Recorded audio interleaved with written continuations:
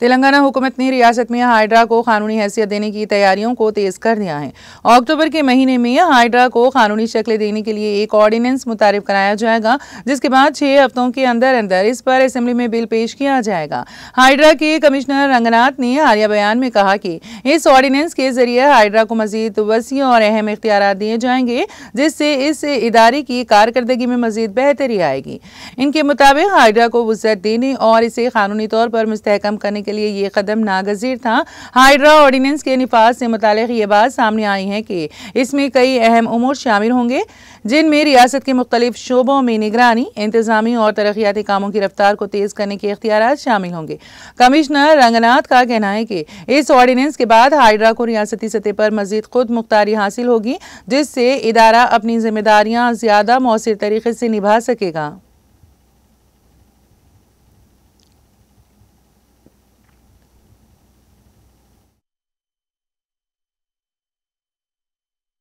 Oh, there is an ordinance which is likely to uh, come up uh, probably in the next a month or so.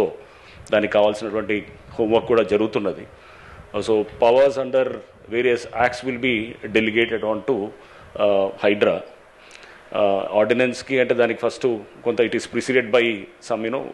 ఇప్పుడు వాల్టా కిందో లేకపోతే ఒక municipal act కిందో లేకపోతే GHMC act uh, కిందో ఇట్లా irrigation act కింద ఇట్లా రకరకాల acts కింద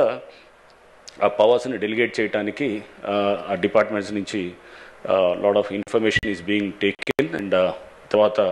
ఒక పాలసీ డాక్యుమెంట్ కింద once it gets approved cabinet then an ordinance will be formulated ordinance తర్వాత న్యాచురలీ నెక్స్ట్ అంటే అసెంబ్లీ సెషన్లో within six weeks it has to be